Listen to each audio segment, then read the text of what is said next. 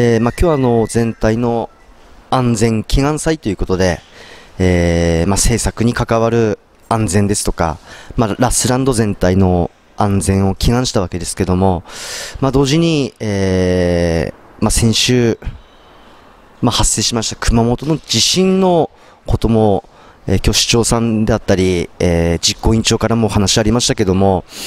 えー、まあ、東北の震災よりもですね、ちょっと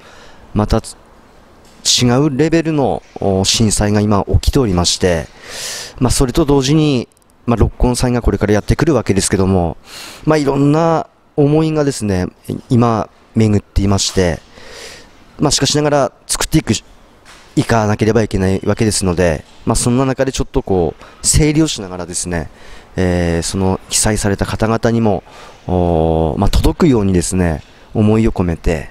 えー、作っていかなければとまた思ったあ数日前の今今日であります、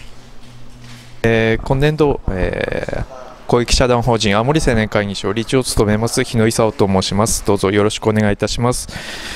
まあ、今年度スローガンといたしまして人のために行動しよう。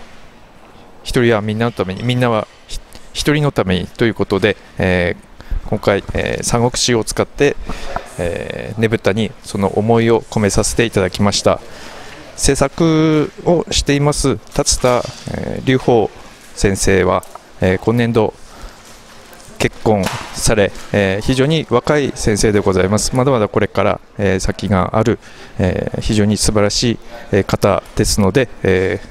今後とも、えこの青年会議所若い力で頑張ってまいりますのでどうぞよろしくお願いいたします今日からですねあの骨組みの次の作業の電気配線の作業も入りましてえー、骨組みと、まあ、同時進行でですね、これから進んでいくわけですけども、なんとかまあ、えー、予定通り、えー、今、現在進んでおりまして、まあ、非常にいいペースで、あの、進んでいるように思っています。まあ、まだ、寒いんですけども、えー、まあ、そのうち暖かくなって、まあ、桜が咲いてきますので、まあ、その時までちょっと我慢をしてですね、まあ、ストーブ炊きながら、あの制作しています。えそうですね。4月の下旬から、えー、紙張りが入って、えー、5月、まあ、中旬より少し前くらいに墨書きそして色付けと展開していく予定でいます。えー、今年度青年会議所のねぶたは、えー、食感保温寄進という題材で、えー、やらせていただいております、えこれはですね今年度、えー、当会議所の理事長のスローガンである人のために行動しよう一人はみんなのためにみんなは一人のためにというものを、えー、カウント流病を使って、えー作らせていただいております、え、こちらの、え、ねぶたをですね、えー、ぜひ今年度は、え、全国世界へ発信するとねぶたの魅力を発信するということで、え、まず、え、